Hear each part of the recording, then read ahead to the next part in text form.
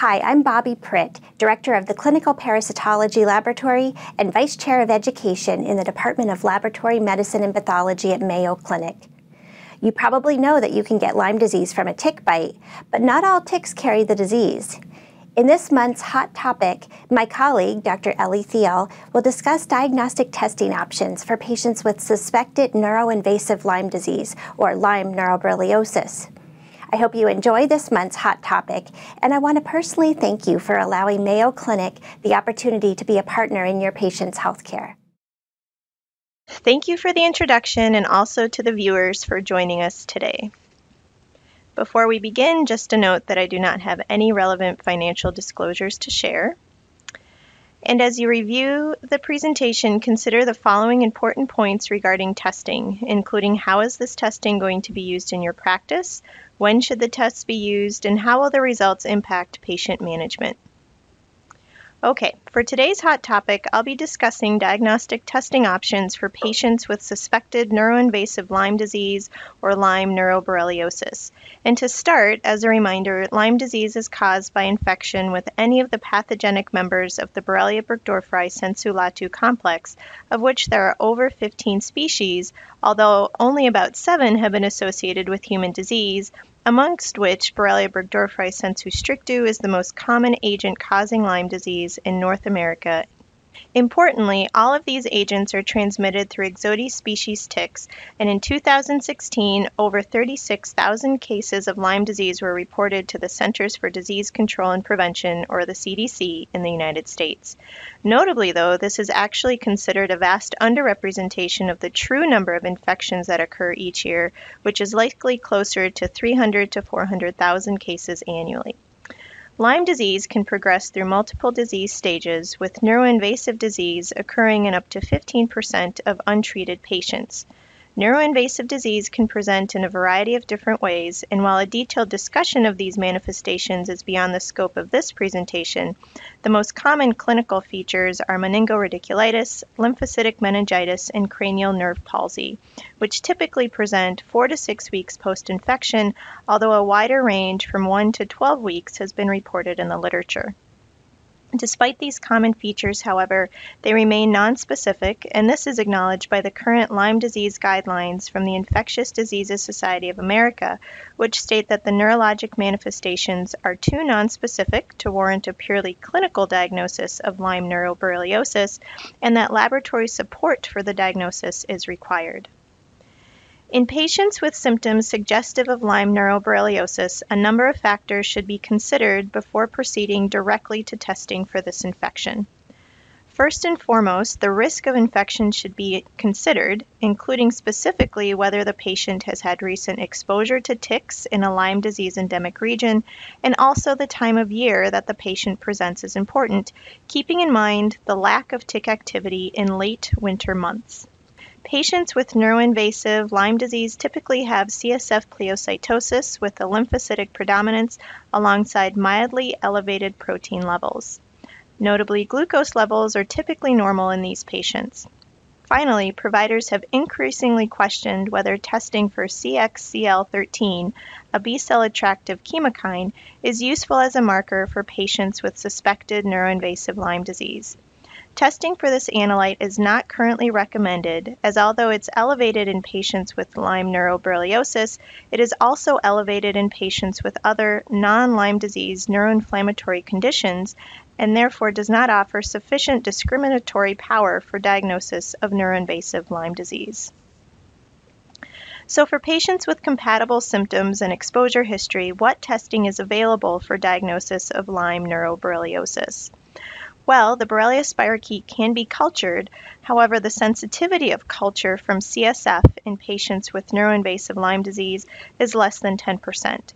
Additionally, culture is no longer routinely performed or offered in hospital or reference laboratories, which, alongside the low sensitivity of this method in general, excludes culture as a routine means of diagnosis. Molecular testing through RT-PCR for detection of DNA from Lyme Borrelia is an alternative option.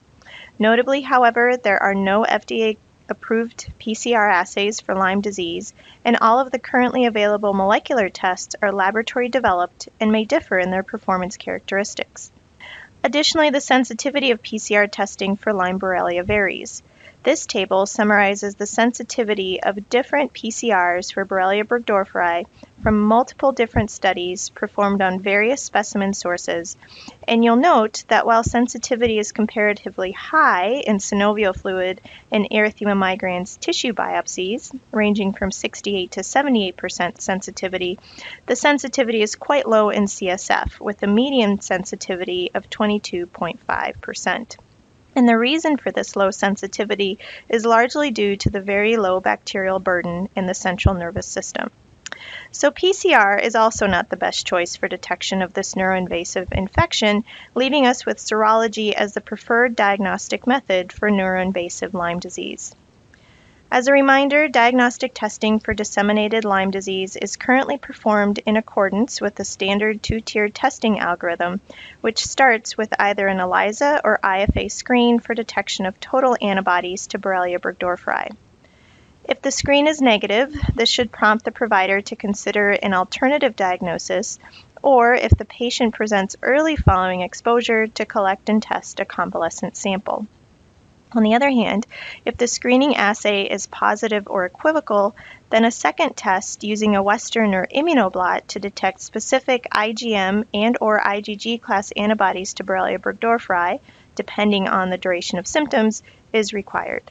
For the IgM blot to be considered positive, we need to see the presence of specific antibodies to at least two out of a possible three Borrelia antigens on the blot. And for a patient to be considered positive for IgG antibodies, we need to see reactivity to at least five out of a possible 10 antigens on the blot.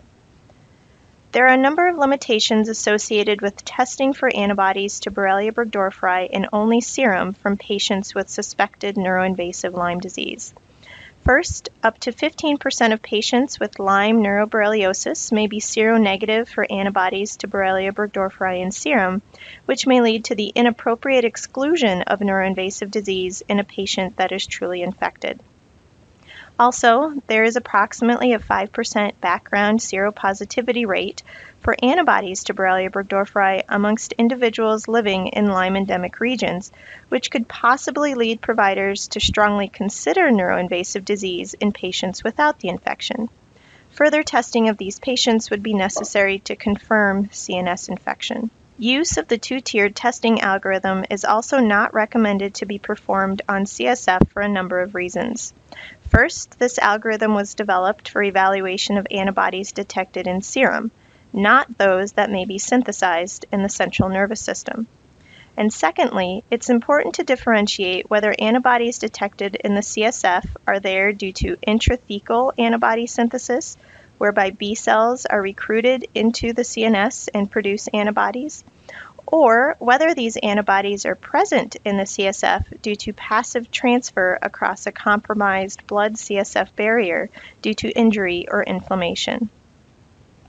To help differentiate between these two scenarios, a Lyme antibody index can be performed. The antibody index is essentially a ratio of anti-Borrelia specific antibodies in CSF to serum which are normalized to total IgG in both specimen sources, which are ideally collected concurrently, and it corrects for blood CSF permeability and or abnormally elevated intrathecal antibody synthesis.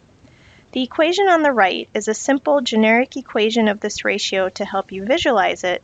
However, in reality, there's a lot more math that goes into determining an antibody index, and those equations are shown in this table. I won't go into the details of this today, however, they take into account normal CSF turnover and diffusion rates amongst other factors. Ultimately, though, we get a ratio value, and if that result is greater than 1.6, this is interpreted to mean that the level of Borrelia-specific antibodies in the CSF is higher than those in normalized serum, which is indicative of intrathecal synthesis and thus strongly suggestive of neuroinvasive disease. Importantly, determination of an antibody index is recommended by both the IDSA and EFNS, which is the European Federation of Neurological Sciences, for diagnosis of neuroinvasive Lyme disease. The EFNS guidelines go further and outline three criteria which must be met to make a definitive diagnosis of Lyme neuroborreliosis, including the presence of neurologic symptoms consistent with neuroinvasive disease, CSF pleocytosis, and an elevated Borrelia antibody index. Although multiple different methods and assays are used to establish a Lyme antibody index across laboratories and between published studies, the general performance characteristics of the Lyme antibody index are briefly summarized in this table. When it comes to sensitivity, it largely depends on when the patient presents clinically. In patients with less than six weeks of symptoms, sensitivity ranges from roughly 70 to 90% across studies whereas individuals with more than six weeks of symptoms, the sensitivity of this method approaches 100%, and specificity is similarly high, around 95%. There are some caveats to keep in mind with the Lyme antibody index, including the fact that it will remain positive for a long period of time, and in many cases, this positivity can last beyond six months following successful treatment. So the Lyme antibody index shouldn't be used as a test of cure, similar to the recommendations for standard serum serology. Additionally, this is still a serologic based assay, and cross reactivity can occur with other infections, most notably with neurosyphilis or infections with other Borrelia species. So results really need to be interpreted alongside clinical presentation and exposure risk.